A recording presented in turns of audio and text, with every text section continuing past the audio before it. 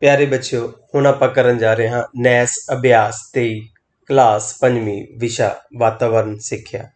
ਪ੍ਰਸ਼ਨ 1 ਕੁਝ ਜੰਤੂਆਂ ਵਿੱਚ ਦੂਜੇ ਜੰਤੂਆਂ ਦੇ ਮੁਕਾਬਲੇ ਵਿਸ਼ੇਸ਼ ਅਸਧਾਰਨ ਗੁਣ ਹੁੰਦੇ ਹਨ। ਇਸ ਆਧਾਰ ਤੇ ਕਿਹੜਾ ਜੋੜਾ ਗਲਤ ਹੈ?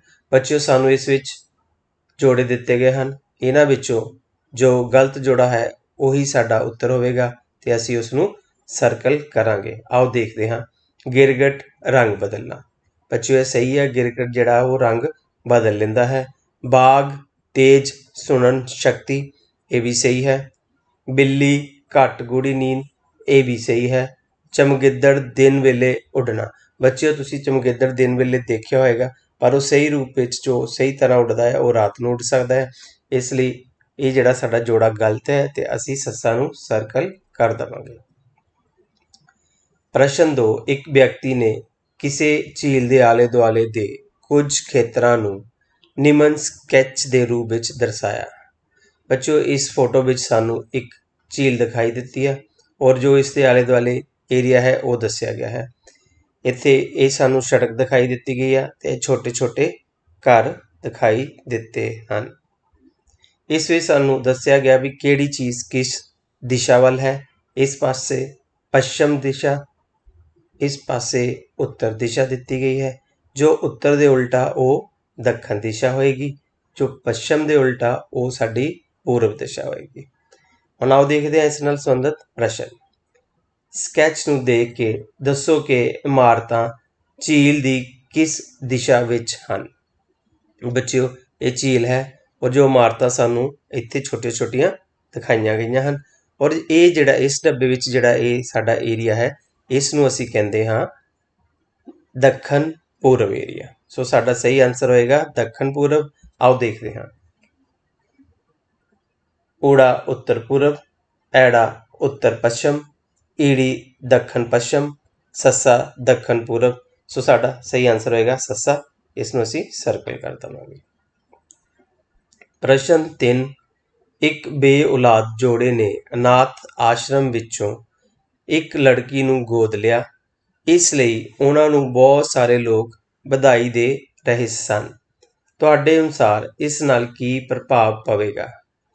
ਬੱਚਿਓ, ਕਿਸੇ ਬੇਔਲਾਦ ਜੋੜੇ ਨੇ ਨਾਥ ਵਿੱਚੋਂ ਇੱਕ ਲੜਕੀ ਨੂੰ ਗੋਦ ਲਿਆ ਤੇ ਬਹੁਤ ਸਾਰੇ ਲੋਕਾਂ ਨੇ ਉਹਨਾਂ ਨੂੰ ਵਧਾਈ ਦਿੱਤੀ। ਇਸ ਦੇ ਨਾਲ ਕੀ ਪ੍ਰਭਾਵ ਪਵੇਗਾ? ਆਓ ਦੇਖਦੇ ਹਾਂ। ਊੜਾ, ਕੁੜੀਆਂ ਦਾ ਅਕਸ ਖਰਾਬ ਹੋਵੇਗਾ। ਕੁੜੀਆਂ ਦੇ ਮਾਨ ਸਨਮਾਨ ਵਿੱਚ ਵਾਧਾ ਹੋਵੇਗਾ।